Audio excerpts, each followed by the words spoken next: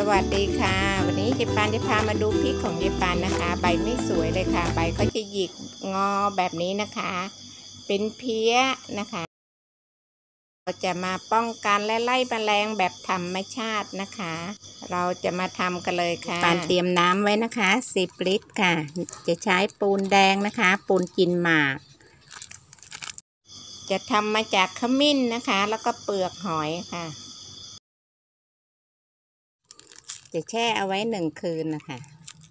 ให้น้ำตกตะกอนแล้วเราก็จะเอาแต่น้ำใสๆเขานะคะเดี๋ยวจะปังก็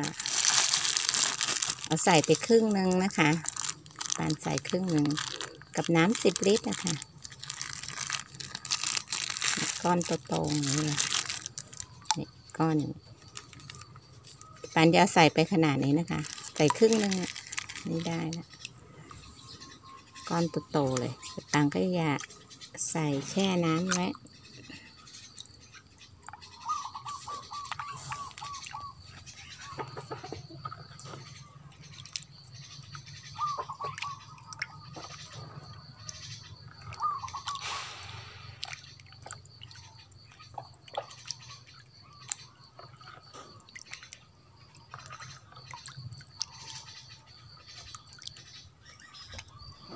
ยี้ให้ปูนละลายในน้ำยีปางก็จะแช่ไว้หนึ่งคืน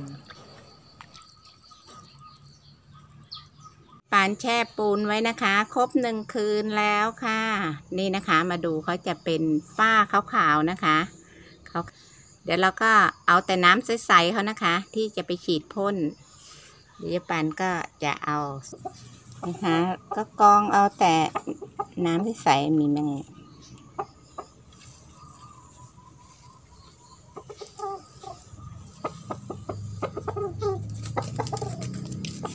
ปานเขาจะกรองเอาฝ้าขาวออกนะคะ ข้างล่างน้ำเขาจะใสมากเลยค่ะ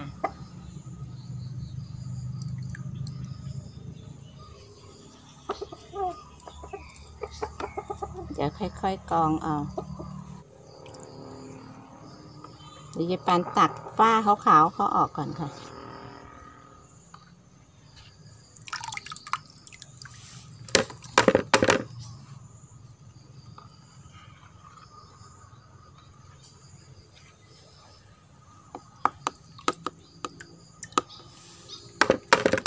ปูนนะคะเขาทำมาจากขมิ้นนะคะ เป็นสมุนไพรนี่แหละค่ะ เปลือกหอยนะคะ คนเฒ่าคนแก่ที่เขากินหมากนะคะ ฟันถึงได้แข็งแรงค่ะ เพราะว่าทำมาจากขมิ้นกับเปลือกหอยนะคะ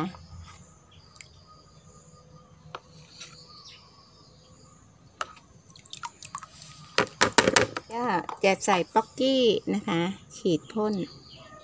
ทางใบค่ะ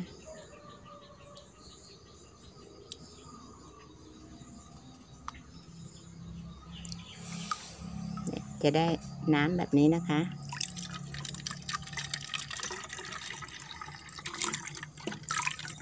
เดี๋ยวที่เหลือนะคะ ก็เอาใส่ขวดไว้ค่ะ เวลาเราต้องการใช้นะคะ เราก็ไปฉีดพ่นได้เลยค่ะ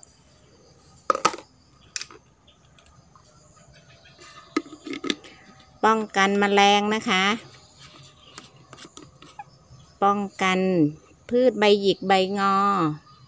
ไล่แมลงได้อย่างดีเลยค่ะ นี่นะคะพ่นเลยค่ะนี่นะคะพริกของเราใบหยิกใบงอใบเหลืองนะคะ ใบจุดใบด่างแบบนี้นะคะพ่นเลยค่ะ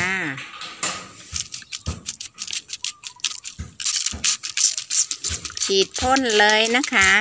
ก็จะได้ออกดอกติดผลค่ะ เป็นพวกใบแบบนี้นะคะ ใบไม่สวยนะคะเป็นพวกเชื้อราสองสามวันนะคะยายปางก็จะมาฉีดพ่นครั้งหนึ่งนะคะ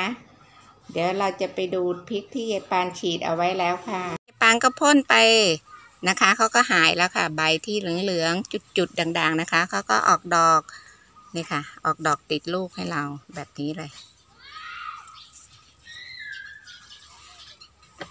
นี่ค่ะ ออกดอก นี่นะคะติดลูก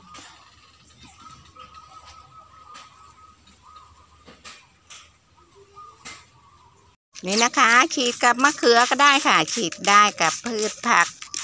นะคะ ทุกชนิดเลยค่ะ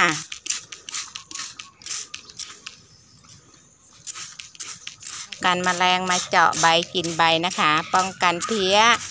นี่ค่ะตะ แตนนี่เห็นไหมคะนี่บินไปแล้วฉีดเลยค่ะ ฉีดพ่นเลยนะคะเขามาเจาะกินใบมะเขือของยายปาน ดูสิตะกะแตน นี่เห็นตัวจะจะเลยนี่นะคะตะกะแตน ต้องไล่เขาออกไปค่ะเดี๋ยวงั้นใบมะเขือของยิปานนะคะพุนหมดเลยค่ะ ไปเลย ไล่เขาหนีนะคะ นี่ค่ะ